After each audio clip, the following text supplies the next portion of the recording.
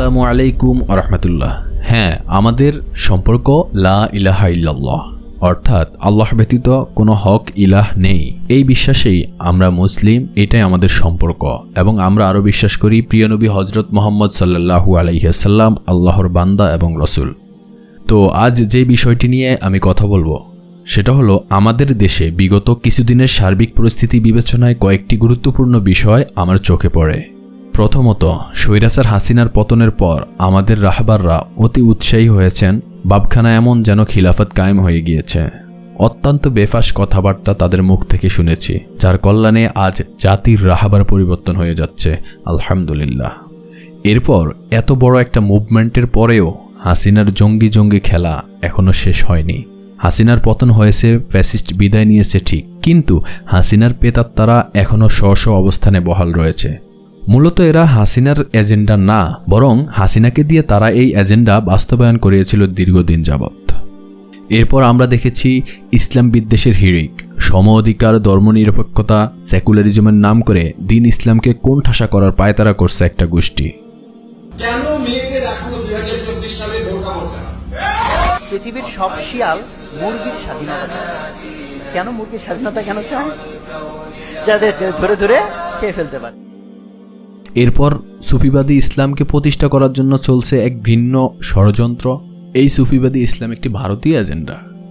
আর সবথেকে আফসোসের বিষয় হলো, দেশের সবথেকে বড় একটি ইসলামিক দল যারা চাইছে কুফরি গণতন্ত্রের মধ্য দিয়ে দিন ইসলামকে প্রতিষ্ঠা করতে, শরিয়া কায়েম করতে।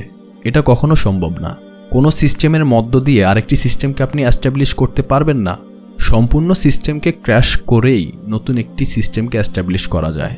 আর তাছাড়া মূল কথা হলো, এটা একটি বেদায়াতি মানহাজ। এই কর্মপদ্ধতি রসুল সাল্লাহু আলাইসাল্লামের যুগে, সাহাবাদের যুগে তাবিন বা তাবে তাবিনদের যুগে কোথাও ছিল না। এমনকি এই পন্থায় এই কর্মপদ্ধতিতে সরিয়া কায়েম হয়েছে, এমন কোনো নজিরও দেখা যায়নি ইসলামের ইতিহাসে। আপনি ইতিহাস পড়ুন, তবে এই দলটি গণতন্ত্রের মধ্য দিয়ে ক্ষমতায় আসবে তখনই, যদি তারা পশ্চিমা কুকুরদের দেওয়া মডারেট ইসলামকে গ্রহণ করে নেয়। তবে যাই হোক, এতগুলো থ্রেটের মধ্যে দিয়েও আমাদের মনস্তাত্ত্বিক বিজয় হয়ে গিয়েছে। আপনাদের সাথে একটা মোমেন্ট শেয়ার করি।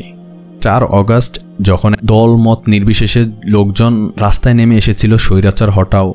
সবাই স্লোগান দিচ্ছিল, তুমি কে, আমি কে, রাজাকার রাজাকার, সিসি, হাসিনা, লজ্জায় বাসিনা। এসব স্লোগান দিচ্ছিল। এমনকি মাদ্রাসার স্টুডেন্টরাও একই স্লোগান দিচ্ছিল। কিন্তু আমি কাউকেই দেখলাম না তাকবির দিতে, আল্লাহ একবার স্লোগান দিতে। অবশ্য যেহেতু এটা একটা ফ্যাসিস্ট হটানোর সর্বদলীয় আন্দোলন ছিল, সেহেতু আল্লাহ একবার স্লোগান না দেওয়াটাই স্বাভাবিক। কিন্তু তবুও আমার মনে খুব কষ্ট হচ্ছিল। আমি চিন্তা করতেছিলাম যে যদি এরা সবাই হতো জুন্দুল্লাহ, তাহলে এরকম একটা মুভমেন্টেই সরিয়া কায়েম হয়ে যেত এই দেশে। এতটুকু আর চিন্তা করার প্রয়োজন হতো না, এই ভূমি কি কিতালের না দাওয়াতের? তবে মূল কথা হলো, বান্দা যখন হতাশার দিকে ঢলে পড়ে, তখন আল্লাহ সুবানহতালা আশার বাণী শুনান। আল্লাহ সুবানতাল্লাহ বলেন নাসরুমিন আল্লাহ ওয়াফাতহুন করিব। আল্লাহর সাহায্য এবং বিজয় খুবই নিকটবর্তী। বিজয় যে খুবই সন্নিকটে, তার একটা উত্তম নিদর্শন হলো এই জাতির মনস্তাত্ত্বিক বিজয়। আমাদের যুবকরা চূড়ান্ত পর্যায়ের জিহাদের জন্য মানসিকভাবে তৈরি হয়ে গেছে, যা আমাদের স্কুল, কলেজের স্টুডেন্টদের মাঝে আমরা দেখতে পেয়েছি। আজকাল মাদ্রাসার স্টুডেন্টরা জিহাদের কথা বলতে গেলে কৌশল করে, চিন্তা করে, কিন্তু কলেজ, ইউনিভার্সিটির ছাত্ররা তার নির্দ্বিধায় বলতে পারে মাশা আল্লাহ তবে একটি বিষয় খেয়াল রাখতে হবে। প্রিয় ভাই, তুমি ইসলামের মুজাহিদ। তুমি মানসিকভাবে তৈরি হলেই হবে না। তোমাকে তৈরি হতে হবে শারীরিকভাবে, তোমাকে তৈরি হতে হবে ইলমিভাবে, জ্ঞানগতভাবে। তোমাকে এদাত করা লাগবে। এদাত একটি ফরজ ইবাদত যা আজকাল আমাদের মাঝে নাই বললেই চলে। আমি জানি বাংলাদেশে তুমি সশস্ত্র কোনো ট্রেনিং নিতে পারবে না, আমাদের সেই সুযোগও নেই। কিন্তু তোমাকে কেউ মার্শাল আর্ট কারাতে জুডো এগুলো শিখতে নিষেধ করবে না। প্রতিদিন জিমে যেতে ফিটনেস করতে কেউ তোমাকে বাধা দিবে না। নিজেকে তৈরি করো, এই উম্মার সম্পদে পরিণত করো নিজেকে। শুধু মানসিকভাবে তৈরি হলেই হবে না, স্লোগান দিলেই হবে না। ইতিহাস পড়ো, সিরাত পড়ো, কোরআন পড়ো, ফার্জিয়াতের মাসলা মাসাইলগুলো ভালোভাবে জেনে নাও। তুমি যখন উত্তম পাত্রে পরিণত হবে, অবশ্যই তোমার মাঝে উত্তম বস্তুটি রাখা হবে। অর্থাৎ তুমি যখনই যোগ্যতা অর্জন করবে, আল্লাহ সুবানহাতালা তোমাকে উত্তম দায়িত্বটাই অর্পণ করবেন। এই উম্মার তোমার মতো যোগ্যদের প্রয়োজন।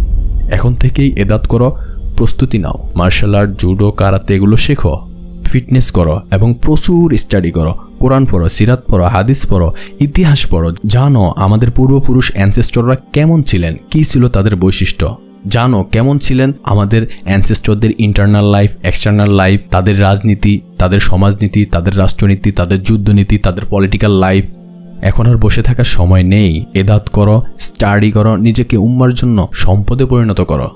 বীরের জাতি, বীরের মতো তৈরি হও। মনে রাখবে, চরিত্রহীন সিংহ গাদার চাইতেও অদম। আমরা সিংহের জাতি। যদি চরিত্র ভুলে যাই, আমরা গাদার থেকেও অদম। গত একশো বছর যাবৎ আমরা দুর্বলতা, অক্ষমতা, বলহীন, পুরুষত্বহীন হয়ে বেঁচে আছি। এখন আর সেই সময় নেই। তোমাকেই হাল ধরতে হবে। তৈরি হও। বিজনিল্লাহ।